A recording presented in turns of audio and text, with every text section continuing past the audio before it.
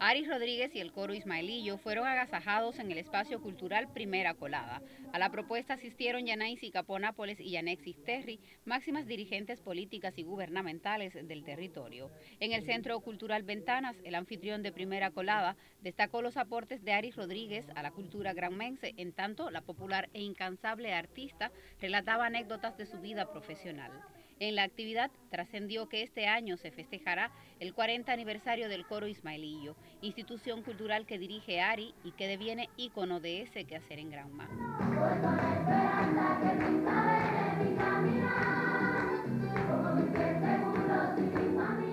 La primera secretaria del Partido Comunista de Cuba en la provincia propuso entonces que para celebrar la fecha la agrupación realice una gira por todos los municipios y que el homenaje concluya con un concierto gigante en la sala Teatro Bayamo de la ciudad homónima.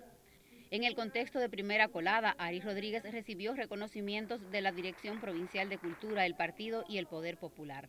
En tanto, la versátil solista agradecía la colaboración de padres, niños y músicos granmenses.